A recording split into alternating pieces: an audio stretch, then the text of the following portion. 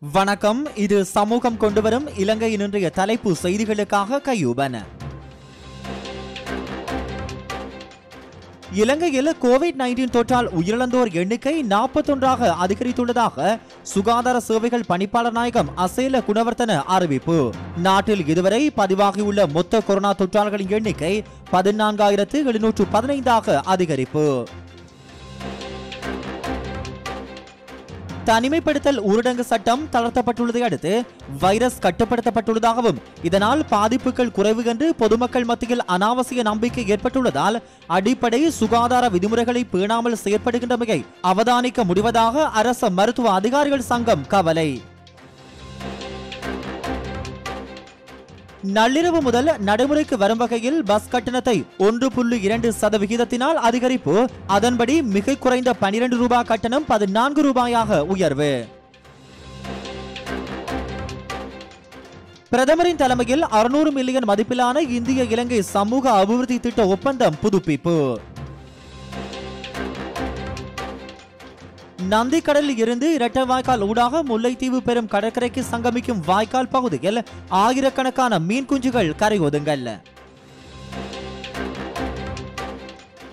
வெள்ளை சீனிக்கு உச்சபட்ச விற்பனை விலை நிர்ணயம் செய்யப்பட்டு பாவனையாளர் அலுவலர்கள் அதிகார சபையினால் அதிவிசேட வர்த்தமானி அறிவித்தல் வெளியீடு. அதற்கமைய பொதியிடப்பட்ட ஒரு கிலோகிராம் வெள்ளை சீனி தொண்ணூறு ரூபாயாகவும் பொதியிடப்படாத ஒரு கிலோகிராம் வெள்ளை சீனி எண்பத்து ஐந்து ரூபாயாகவும் இறக்குமதியாளரின் மொத்த விற்பனை விலை கிலோ ஒன்றிற்கு ரூபாய் எண்பது ஆகவும் விலைகள் நிர்ணயம்.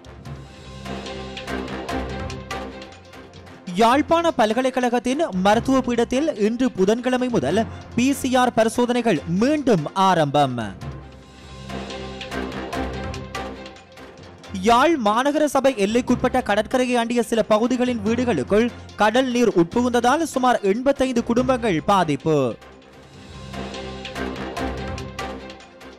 வவுனியா உக்குளாங்குளம் பகுதியில் வீடு ஒன்றினுள் வெள்ள நீர் புகுந்துள்ள நிலையில் சிறுவர்களுடன் அவதிப்படும் குடும்பம் ஒன்று. வவுனியா பிரதேச செயலாளருக்கு தெரியப்படுத்திய போது அதனை பார்வையிட நேரம் இல்லை என கூறி சென்றுவிட்டதாக அக்குடும்பம் கவலையுடன் தெரிவிப்பு. முல்லைத்தீவு மாவட்டத்தின் மாங்குளம் போலீஸ் பிரிவுக்குட்பட்ட கரிப்பட்ட முறிப்பு பகுதியில் மீட்கப்பட்ட உடற்பாகங்கள் விடுதலை புலிகளுடையதா என்கின்ற கோணத்தில் உடற்கூட்டு பரிசோதனைகள் ஆரம்பம். பாராளுமன்ற உறுப்பினரும் தமிழ் மக்கள் விடுதலை புலிகள் கட்சியின் தலைவருமான சிவனேசதுரை சந்திரகாந்தர் மீதான வழக்கு விசாரணை எதிர்வரும் இருபத்தி நான்காம் திகதிக்கு ஒத்திவைப்பு. தொலைவில் உள்ள தீவொன்றில் கொரோனா வைரஸினால் உயிரிழந்த முஸ்லிம்களின் உடல்களை அடக்கம் செய்யும் யோசனை அமைச்சரவை கூட்டத்தில் முன்வைப்பு அமைச்சர் கெகலிய ரம்புபெல தெரிவிப்பு. கொரோனா வைரஸினால் உயிரிழந்தவர்களின் உடல்களை தகனம் செய்யும் தற்போதைய நடைமுறையில் மாற்றங்களை மேற்கொள்வது குறித்து இன்னமும் தீர்மானிக்கவில்லை. சுகாதார அமைச்சின் பேச்சாளர் மருத்துவர் ஜேருவான் பண்டார தெரிவிப்பு. கொரோனா வைரஸ் மருந்து கிடைக்கக்கூடிய காலம் செலவு உட்பட பல விடயங்களை கருத்தில் கொள்ளும் போது இலங்கை கொரோனா வைரஸ் மருந்தினை மாத்திரம் நம்பியிருக்க முடியாது. தொற்று நோயியல் பிரிவின் தலைமை அதிகாரி வைத்தியர் சுதத் சமரவீர கருத்து. இந்திய தமிழக மீனவர்களின் நூற்று இருபத்தி ஒரு படகுகள் அளிக்கப்படுவதை இலங்கை அரசு மனித நேயத்துடன் அணுகி தடுத்து நிறுத்த வேண்டும். தமிழ் தேசிய பண்பாட்டு பேரவையின் தலைமை ஒருங்கிணைப்பாளர் எஸ். நிஷாந்தன் வேண்டுகோள். மட்டக்களப்பில் கடந்த சில நாட்களாக பெய்து வரும் மழையினால் தாழ்நில பகுதியில் உள்ள வயல் பகுதிகளில் வெள்ள நீர் தேங்கி நிற்பதால் ஆறாயிரம் ஏக்கர் வேளாண்மை நீரில் மூழ்கி பாதிப்பு. மட்டக்களப்பில் கொரோனாவை ஒழிப்போம் தமிழ் மக்கள் விடுதலை புலிகள் கட்சி தலைவரும் பாராளுமன்ற உறுப்பினருமான பிள்ளையான் என்று அழைக்கப்படும் சிவனேசதுரை சந்திரகாந்தன் சூளுரை.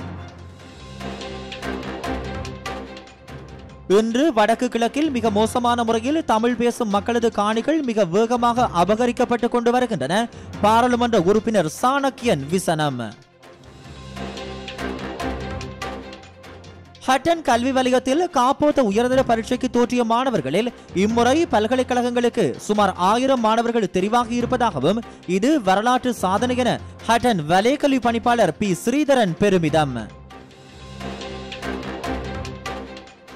பூண்டுலோயா கொத்மலை பிரதான வீதியின் பாலுவத்த பகுதியில் வைத்து நிறப்பூச்சு வகைகளை ஏற்றிச் சென்ற லொரியொன்று வீதியை விட்டு விலகி சுமார் நூறு அடி பள்ளத்தில் வீழ்ந்து விபத்து.